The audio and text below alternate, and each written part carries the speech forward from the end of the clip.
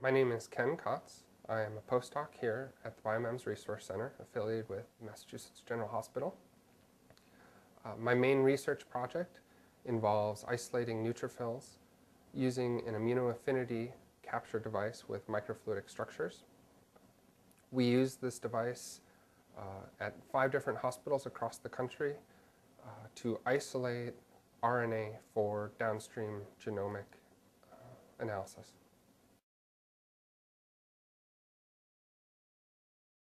Basically what you have is a master of SU8 photoresist on top of silicon.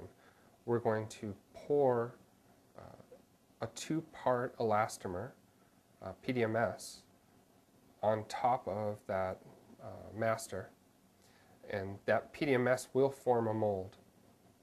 We remove the master mold from its case and place it into a petri dish. Uh, the master is secured by tape on the bottom of a petri dish. On the scale, we weigh out a mixture of, of PDMS, hardener, and uh, base resin. Uh, the ratio is uh, one part hardener to 10 parts resin. Typically for our devices that have been cut out, we weigh out 20 to 30 grams of the resin and 2 to 3 grams respectively of the hardener. After pouring both the hardener and the resin into the small weigh boat, we use a standard plastic fork to mix the two together. You want to make sure that you mix vigorously and fold the mixture on top of one another to ensure that the hardener is evenly distributed within uh, the resin. Typically, we monitor how well uh, the two have been mixed by looking at uh, the number of air bubbles. We try to get an even distribution of small air bubbles throughout the elastomer. We then pour the PDMS on top of the SU8 master that's in the Petri dish. We place the master with the PDMS on top of it in a vacuum bell jar and evacuate the chamber to degas the air that we've mixed into it. Typically, the degassing process takes 30 minutes to one hour. Following degassing, we remove the devices from the vacuum chamber and place them in a in an oven at 65 to 80 degrees C. Minimum cure time at the, these temperatures is three to six hours. In our lab, we typically leave the devices in the oven overnight.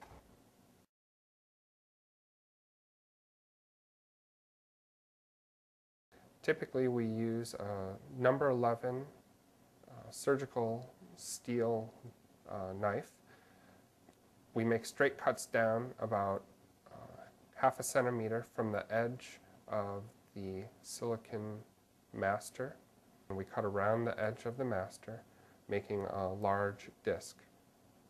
We peel the PDMS mold from the master and we place the feature side up in a clean petri dish. We take the liberated mold out of the petri dish and we place it onto a cutting surface using either either a knife or uh, a knife mounted onto a linear rail. We section uh, the devices that are contained on the mold. Each section device is then placed back into the Petri dish for uh, further processing. Typically, to interface our devices with uh, fluids, we will punch holes into uh, the PDMS device. The device that we use to punch holes is a standard 3 mil syringe.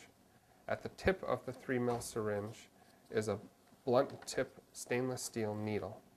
Within the stainless steel needle is a wire that fits the inner diameter of the needle. That wire is attached to the plunger of the syringe. By pulling back on the plunger and retracting that needle, uh, you can punch a hole uh, or punch a plug into the PDMS, flip the PDMS device, and eject it by pushing on the plunger. The secret to punching devices is to keep the plunger as vertical as possible and not to rotate uh, the punching device at all. When you punch through the PDMS, you lift the whole device, the whole PDMS device up with a pair of tweezers, flip it over, and eject the plug with, by pressing down on the plunger. You grab the plug with a pair of tweezers and uh, dispose of it. Then you retract the plunger again, flip the device back down, and pull out the cutting device.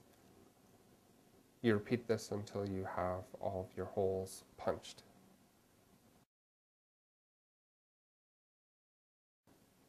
So for the bonding process, we bond our PDMS devices to glass slides. For our devices, we're going to non-reversibly bond or, or covalently attach the PDMS to glass slides. The way this is accomplished is by placing them into a, uh, placing them into a plasma asher and exposing them to a reactive oxygen plasma. So the steps in doing this are to take the PDMS device and place it onto the uh, tray of the plasma asher with the device features facing upwards. You can use any standard uh, glass microscope slide. We use a slightly enlarged one and a half inch microscope slide uh, to fit our device. You can use them straight out of the package. We prefer to treat them in a piranha solution this cleans off any organic contaminants that might be on the surface of the glass slide. After you place the device and the glass slide on top of the tray for the plasma asher, you slide the tray into the plasma asher uh, and uh, expose it to a, the reactive oxygen plasma.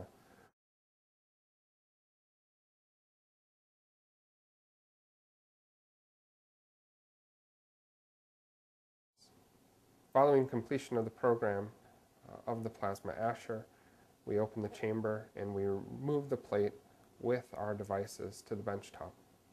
Using tweezers, we carefully lift up the PDMS device, being careful not to touch the bonding surfaces with our fingers. We flip the bonding side over onto the glass onto the glass slide and then we make sure that we've that there are no air bubbles between uh, the PDMS and the glass slide. We place the PDMS uh, device, now bonded to the glass, on a, on a hot plate for, at 65 to 75 degrees C for 10 minutes to achieve a better chemical bond. So this part, in, in this section, we're going to chemically modify the surfaces of the PDMS and the glass. Following bonding in the clean room, we're left with a surface, a PDMS surface, that has reactive silanol groups on, on the surface. Uh, we need, this reactive surface is hydrophilic and will eventually diffuse away into the bulk of the PDMS, so surface chemistry is best accomplished immediately following plasma treatment. We're going to use a 5% solution of a mercaptosilane. It's a 3 mercaptopropyl trimethoxysilane. It's a 5% solution by volume. And basically what we do is we inject it into the inlet and make sure that you completely fill the device without any air bubbles. If any air bubbles are present, you push them out with tweezers. This, once the, you've injected the silane, you let it sit for uh, 15 to 30 minutes at room temperature. You, typically, we inject a second volume of the silane uh, 10 minutes into the reaction. So after the silane has reacted for approximately a half hour, we'll take a, we will flush all the devices with three to four device volumes of pure ethanol.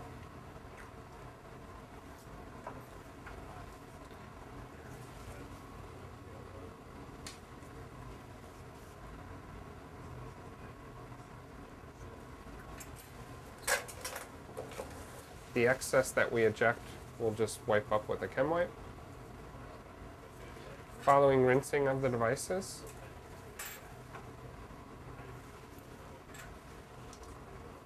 we pick up the devices and place them onto a hot plate which is set to 100 degrees C and basically will allow the ethanol uh, that's in there to evaporate. This helps anneal uh, the silane surface. Um, once the device is dried, it can be stored in a desiccator for months, uh, or it can, you can take the device and immediately proceed to the next step. After the devices have cured, they've cured with a, uh, now a silane coating on both the glass and the PDMS surface. The silane is a, a mercaptosilane uh, with a thiol group, which will react with our hetero uh, bifunctional crosslinker, which is GMBS. Uh, it's diluted in uh, pure ethanol. It's water reactive, so you need to take care not to uh, expose it to aqueous conditions. We inject it into the devices, and we remove any air bubbles with tweezers, as I'm doing here to make sure all the surfaces are wetted with this molecule. We cover it and we let it react for a half hour. After the GMBS has reacted for half an hour, uh, we're going to flush the devices with deionized water uh, to remove any traces of ethanol that are in the device. And then we're going to flow through uh, neutravidin, which is a, a biotin binding protein.